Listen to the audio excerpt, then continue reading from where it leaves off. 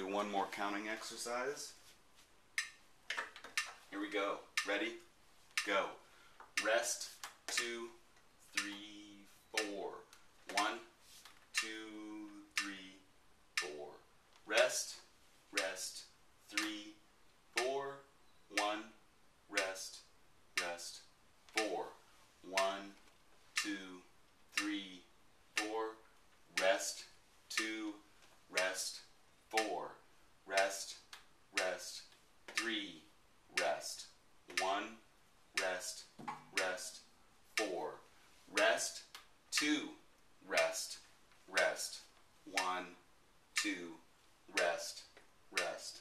Rest, rest, rest, rest. One, two, three, four. Now I'm just going to play it without counting it. Ready? Two,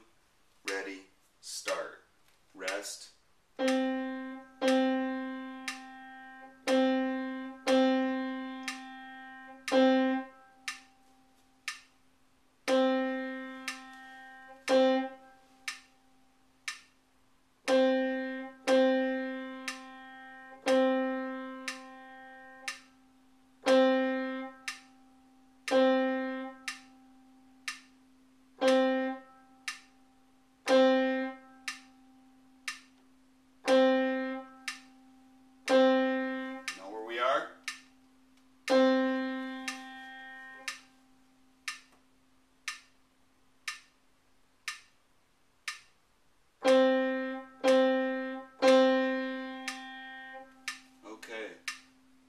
So, you want to really make sure that your eyes are kind of moving ahead.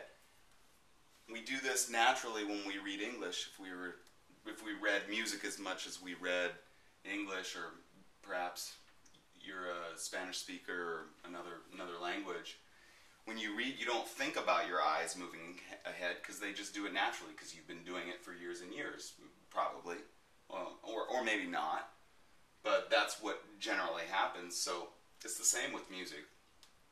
So there's five exercises. If uh, any of that didn't make sense, please make a comment or question, and uh, I'll be happy to get back to you. Thanks so much, and we'll see you in the next video.